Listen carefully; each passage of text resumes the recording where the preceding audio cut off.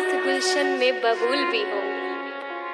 तो क्या हुआ उसने बेवफाई की? अरे उसके कुछ अपने उसूल भी होंगे।